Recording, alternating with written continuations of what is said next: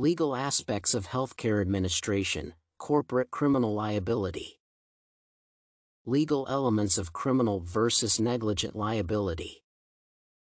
The concept of corporate criminal liability in the United States originally included mens rea offenses as confirmed by the U.S. Supreme Court in the New York Central and Hudson River Railroad Company versus United States case the scope of corporate criminal liability was rapidly expanded by the lower courts to include offenses in common law which were considered on a case-to-case basis.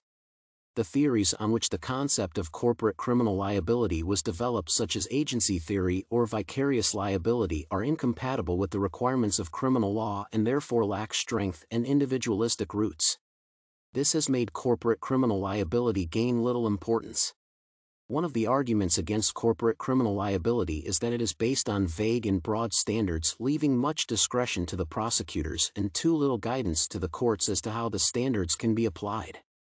However corporate negligence is a doctrine under which healthcare organizations are made liable if an organization fails to provide the standard of care to the patient.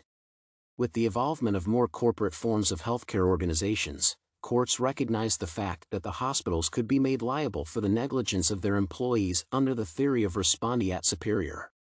Liability later was extended for the acts of those people who were not employees of the hospital but who acted as ostensible agents of the hospital. Apparent agency as a result of the decision of the Illinois Supreme Court in the case of York v. Rush Presbyterian St. Luke's Medical Center, once the plaintiff is able to establish that the hospital claimed itself as a provider of services following standards of the locality, the plaintiff would get the right of claiming under vicarious liability. This covers the actions of not only the employees of the hospital but also independent contractors such as attending physicians. However, to make the hospital vicariously liable under the doctrine of apparent authority, the plaintiff needs to prove that, 1. The hospital acted in a manner that made the plaintiff reasonably believe that the negligent individual acted as an employee or agent of the hospital. 2. When the acts of the agent showed the presence of apparent authority, the plaintiff has to prove that the hospital had the knowledge of such appearance, and 3. The plaintiff acted relying on the conduct of the hospital or its agent to provide services at acceptable standards.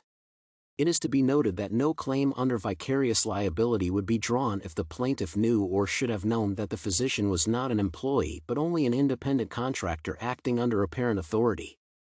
Another point in the context is that the plaintiff can reasonably be believed to rely on the apparent agency of the employee or the independent contractor when they rely on the hospital to provide medical care of reasonable standards rather than depending on the skill of any specific physician. It is also essential that the plaintiff proves that they accepted the services of the agent in reliance on the perceived relationship between the agent and the principal and not on the reliance of the skill of the agent in receiving the services.